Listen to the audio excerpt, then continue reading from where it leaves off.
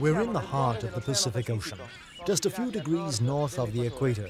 The nearest landfall is the coast of Colombia, a little less than 500 kilometers away.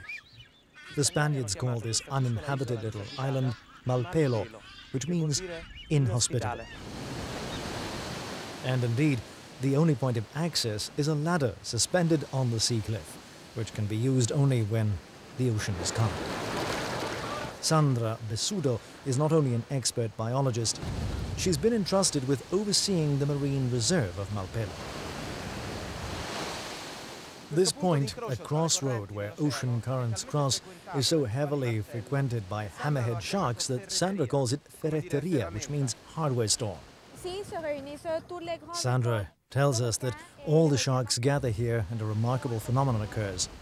Groups of three or four hundred hammerhead sharks are formed.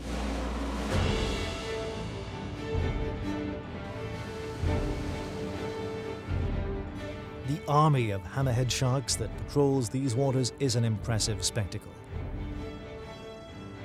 This island is a true stronghold of nature.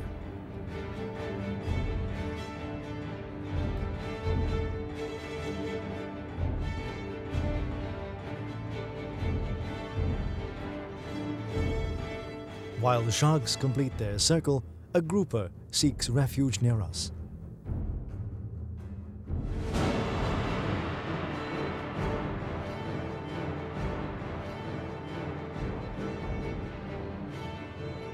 Some divers say that hammerhead sharks use their heads during attacks to push larger prey, even the big mantas, down toward the seabed.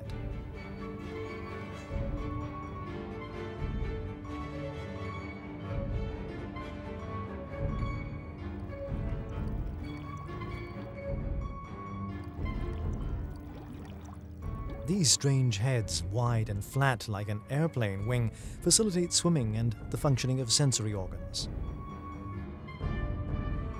Eyes and nostrils are at the extremities. In a large specimen, the width of the head can exceed half a meter. Hammerhead sharks are considered dangerous, even though actual attacks are rare.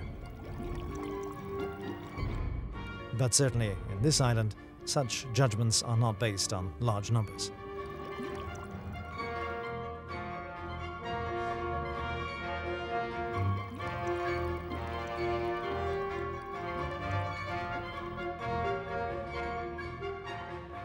According to Sandra, this is extraordinary behavior. It's been observed only in the sea of this island, in the Galapagos Islands, and Coco Island, the famous Golden Triangle of the Pacific.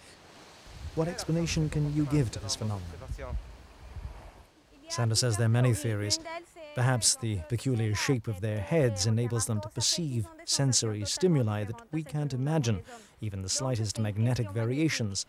According to one very interesting hypothesis, hammerhead sharks love volcanic zones.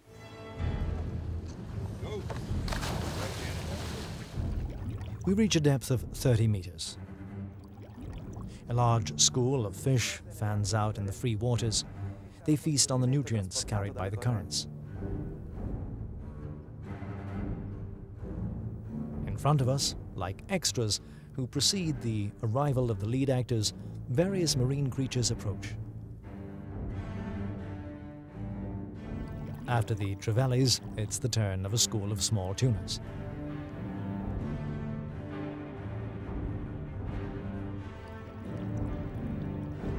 We don't seek out the sharks. We await their arrival with our lights doused and trying to limit the bubbles exiting from the regulators. Suddenly, here they are. Visibility doesn't exceed 20 meters. An army of hammerheads materializes from the blue background of the deep waters.